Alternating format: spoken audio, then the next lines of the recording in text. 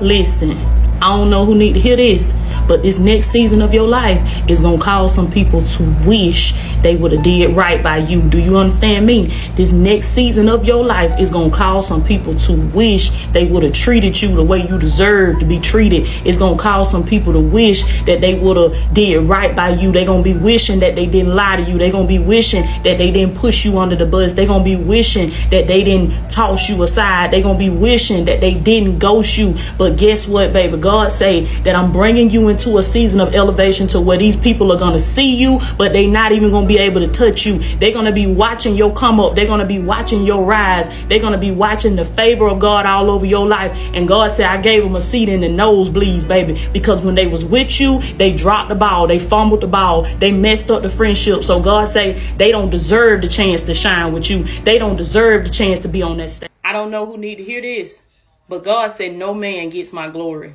No man gets my glory. The Lord just spoke this in my spirit. He said, Tell them I caused them to turn against you. Listen to what God is saying. He said, I hardened their heart and I caused them to turn against you. I caused them to lie on you. I caused them to ghost you. I caused them to divorce you. I caused them to steal from you. I caused them to throw you up under the bus. God say, I am the one that hardened their hearts and I caused them to turn against you. And he said, the reason why I did that is because I'm about to get ready to get the glory up out of this situation. Listen to what the scripture scripture say in Exodus 7 and 3. It says, But I will harden Pharaoh's heart so I can multiply my miraculous signs and wonders in the land of Egypt. The Lord say, I'm about to get ready to show up and show out in your life. He said, I had them to set you up because I'm getting ready to bless you up, baby. God said, you there's about to be an elevation, baby, and it's got your name all over it. And the people that did you wrong, the people that threw you under the bus, the people that ghosted you, the people that hurt you, the people that broke you. Let me tell you something, baby. God said they just had to play their part in your story.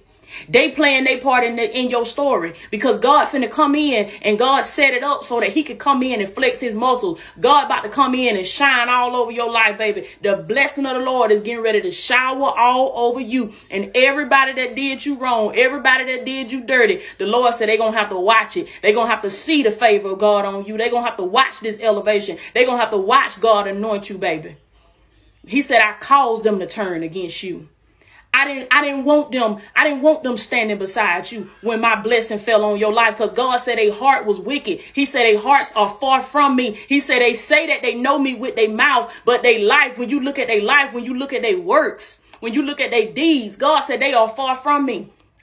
They have a form of godliness, but they denying the power thereof. They really don't have it like that. They really ain't about it like that. They really ain't about that life like that. They they they put it out there like they a believer, like, like they love God, but they really ain't about that life. They was just portraying that. They was putting that out there why so they could get close to you so they could attach themselves to you because they see your favor, they see your anointing, they see what God is getting ready to do with you. But God said, I'm not finna have it go down like you know, that. I light a spiritual fire up under your behind today. If you ain't been letting your light shine, baby, I want you to give yourself permission Take this as your sign, baby, your spiritual divine sign. Give yourself permission to let your light shine. Give yourself permission to be great. Give yourself permission to be awesome. Come on now. Give yourself permission to be everything. Not some of the things, but everything that God has called you to be.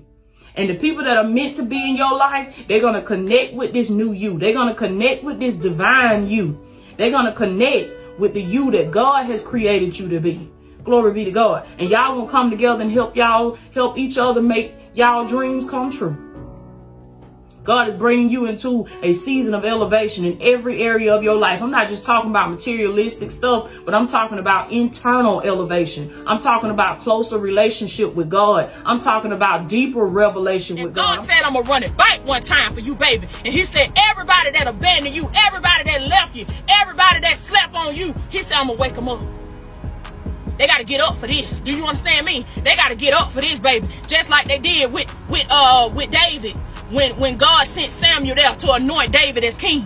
His brothers had to stand up. Do you understand me? God said, arise. Woo! When David walked in the room, I'm trying to let y'all go, but listen, baby, when David bust off in that thing, baby, like Eddie Kane Jr., that was the chosen one. See, that was the one that God had picked. It wasn't the one that the daddy had picked, but it's the one that God picked. Somebody put that in the and say, I am God's pick. I might not be your pick. I might not be your cup of tea, but I am God's pick. God picked me, baby. And you're going to have to take that up with God because I didn't ask to be him. He picked me. He chose me. And he set me him. So if you don't like that, you got to take that up with him. Y'all tell these folks. Take that up